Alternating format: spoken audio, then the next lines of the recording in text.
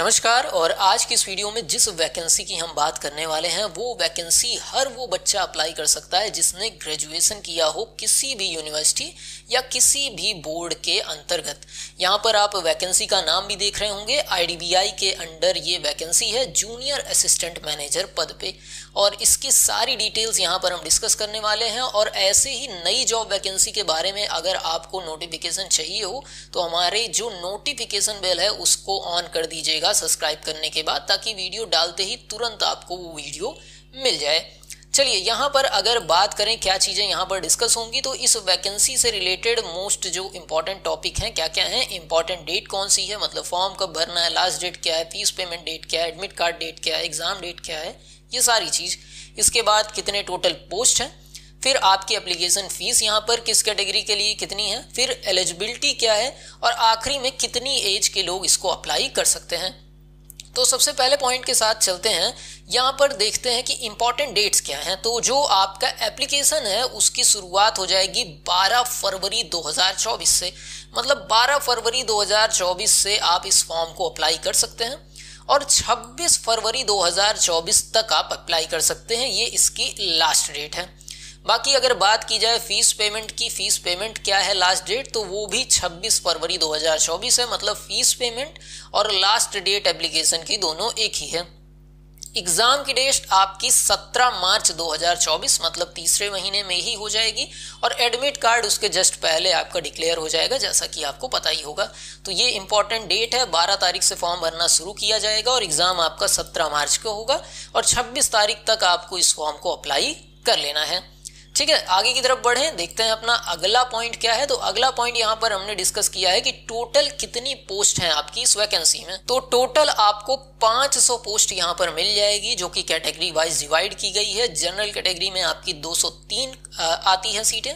फिर ईडब्ल्यू के अंतर्गत एक ओबीसी के अंतर्गत 50 सीटें हैं, और एससी में पचहत्तर एस में सैंतीस। ये टोटल 500 पोस्ट यहाँ पर आई है, जिसके लिए आप अप्लाई कर सकते हैं। कैटेगरी वाइज सीट का डिवीज़न भी आप देख रहे होंगे।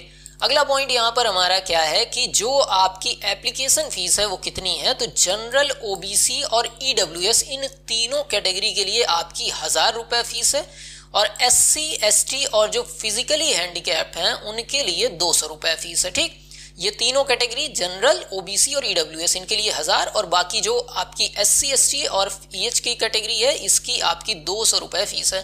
फ़ी आप किसी भी थ्रू पेमेंट कर सकते हैं, ऑनलाइन चाहें तो। देखिए कितने सारे ऑप्शन है, ये सारे ऑप्शन हमने मेंशन कर दिए हैं, इसके थ्रू आप फ़ीस अपनी आसानी से सबमिट कर सकते हैं।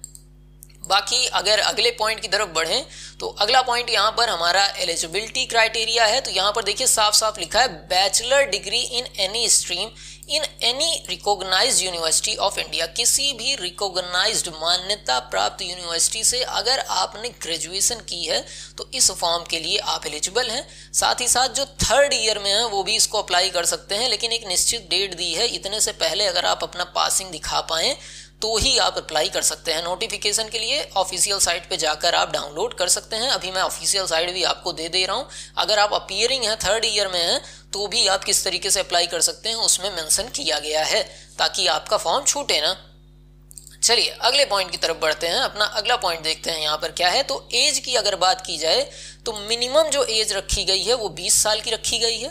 और मैक्सिमम जो एज रखी गई है वो 25 साल की यहाँ पर रखी गई है कि 20 साल से लेकर 25 साल के बीच में जो भी बच्चे पढ़ रहे हैं वो इसके लिए अप्लाई कर सकते हैं। लेकिन ध्यान देना एक चीज़ कि जो एज लिमिट है वो 31 एक 2024 से जोड़ी जाएगी। मतलब इस डेट के हिसाब से आपकी एज जो है मिनिमम 20 साल होनी चाहिए।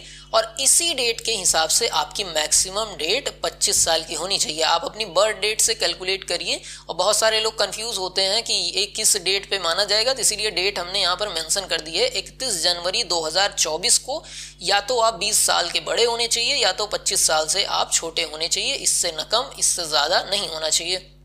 बाकी आप ऑफिशियल साइट चाहें तो ये साइट हमने मेंशन कर दी है, इस ऑफिशियल साइट पर जाकर आप अपनी इस नोटिफिकेशन को डाउनलोड कर सकते हैं, बाकी सारी जानकारी ले सकते हैं। अभी फॉर्म नहीं भरा जा रहा है, जब फॉर्म भरा जाएगा तो उसको भरने को भी आप कहेंगे तो वो चीज़ हम बता देंगे। बाकी ये लिंक आपको डिस्क्रिप्शन में भी हम दे देंगे, वहाँ से जाकर आप सीधे ऑफिशियल साइट पर भी विज़िट कर सकते हैं। बाकी कोई और डाउट हो कमेंट में पूछिए। और इसी तरीके से और भी अपडेट चाहिए हो तो सब्सक्राइब करना मत भूलिएगा, ताकि आगे भी आपको अपडेट मिल पाए।